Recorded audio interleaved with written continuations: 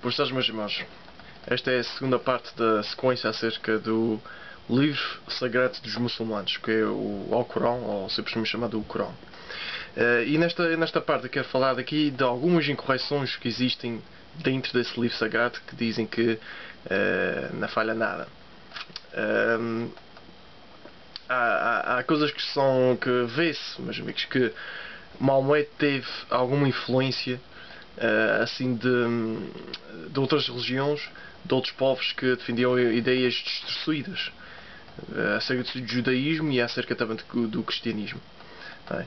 A gente, por exemplo, vê no Corão, capítulo 7, versículos 120 até 125, diz o seguinte: uh, diz que o Faraó usou a crucificação contra os sacerdotes. É? E isto é uma prática que não existiu naquele tempo, mas sim existiu no, uh, após o Império Babilónio, após muitos anos depois do, do tempo do, do, do, Egito e do tempo de Faraó. É. Por exemplo, estava no Corão, capítulo 20, versículos de 90 a 100, diz que um, um samaritano ajudou os israelitas a construir um bezerro de ouro. E uh, pelos fatos históricos, os samaritanos, os samaritanos só existiram como povo mil anos após o Oeste, após Moisés. Não havia samaritanos no tempo de, do Oeste para construir o bezerro, o. No Corão, capítulo 9, versículo 30, diz que os judeus acreditam que Esdra era é, uh, acreditado como o filho de Deus, ou Messias. O filho de Deus. E isso é totalmente errado. Os judeus ainda estão à procura de Messias, estão à espera de Messias. Não é? Isto, ainda sei onde o Maomé foi buscar essa. No Corão, capítulo 18, uh, eh, nos versículos 89 e 90, fala do, do Alexandre Gorante. E eles dizem que foi um devoto muçulmano e que morreu de idade avançada.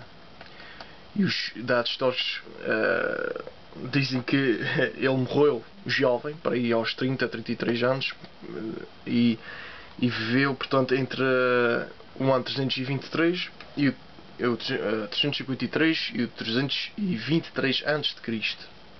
Portanto, 33 anos, mais ou menos. E que ele acreditava ser divino, forçando as outras pessoas uh, a reconhecerem como Deus. É isto que era a história do, do, do Alexandre Gorante. Ele não era de volta muçulmano. É? No capítulo 5 de, do Alcorão, uh, dizem que os, os, cristãos acreditam em três deles. Isso é uma má interpretação da vida de Trindade. É? A gente não acredita em três deles, a gente acredita num só Deus, do qual é trino. Tem três pessoas, todas com a mesma essência, formando um único Deus. É? E, finalmente, o Alcorão, no capítulo 19, versículo 28 e também no. Uh, capítulo 3, versículos 33 a 36, fala de Maria, Maria, mãe de Jesus, um, diz que Maria era irmã de Moisés e Araão. E, uh, e também diz que Mayra era sua irmã. O problema aqui é que Maomé confundiu os nomes. Mas, mas quer dizer, o, a irmã de Moisés e de Arão era Miriam. Não era Maria, era Miriam. Portanto, há aqui uma confusão. Como é que é? Jesus, que nasceu há dois mil anos atrás, e Moisés foi já há três mil, como é que Maria, mãe de Jesus, era, era irmã de, de Moisés? não, é? e depois há aquele. Há também um. um é, aquela história, uma lenda que, que que se passou a ser, uh, com Maria, que era uma, houve uma palmeira que falou com ela e ofereceu os seus frutos. Uh, uma lenda que isto tem consegue-se traçar facilmente de onde é que vem esta, esta, esta ideia, de onde é que vem esta história. E vem uh, nos livros apócrifos, nos livros que foram uh, considerados não inspirados pela Igreja, pelos cristãos. Eh, principalmente uh, no proto-evangelho de Tiago, do pseudo-evangelho de, no evangelho de pseudo-Mateus e no evangelho da Natividade de Maria. Portanto, esses evangelhos que foram criados com pronto, histórias que não eram verdadeiras e que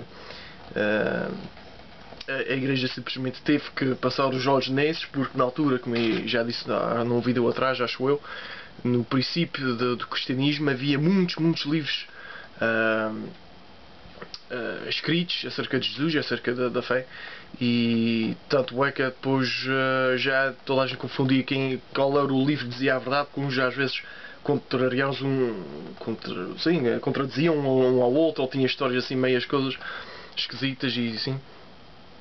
Uh, então a igreja teve que reunir, teve que fazer uns, um concílio uh, e houve até uh, três, principalmente os três concílios já que, que focaram na, na, na Sagrada Escritura foram os concílios do século IV. Houve três concílios e todos eles definiram o que era a Bíblia, o que era a palavra inspirada, o que é que era verdadeiro ou não. E portanto acabamos por ter os tais 27 livros do Novo Testamento e os 60 e tal do uh, Antigo Testamento.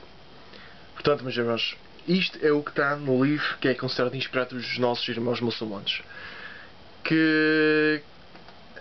Prontos, meus amigos, isto, uh, tal qual como disse no outro vídeo, vocês, a gente tem que respeitar o que vocês acreditam. Uh, agora, vendo estas coisas, como é que.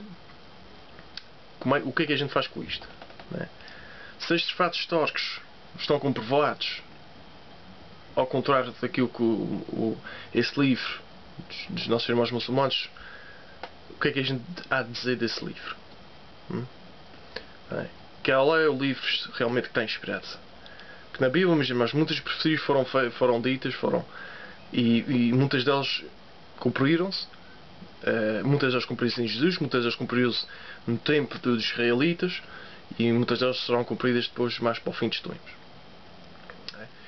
Agora, inventar estas coisas é um bocado suspeito. Prontos, mas, mas é isto que quero que vocês saibam só um bocadinho daquilo que os nossos irmãos muçulmanos acreditam, têm nas suas mãos, têm como religião. Um, não para vocês, para a gente estar agora uh, a ter desconfiança com eles ou ter aquela coisa de rejeição. Uh, claro que Uh, não vou dizer, claro que não vou dizer a eles, ah, isso, uh, o que é verdade para vocês pronto é verdade, mas não é bem assim. Não é? A verdade está em Jesus Cristo. E, uh, mas pronto, eles servem a Deus, fazem o seu melhor. alguns são extremistas, alguns são, levam pronto, aqueles versos do outro vídeo que disse a sério e é matar tudo e, e pronto, e pensam que Deus tem algum tem, tem, é, que Deus considere isso certo. É, é, uma, é, uma, é uma religião que, é, que é perigosa um bocadinho porque eh, potencia, potencia a, a violência. Não que toda a gente queira, nem que os montes são assim, mas, mas que é, propõe a, a, violência. A gente também gostaria já teve violências nos passados, já disse, mas. Uh, mas uma religião com esta violência toda ainda dá para existir. Ok? Até para a semana, se Deus quiser.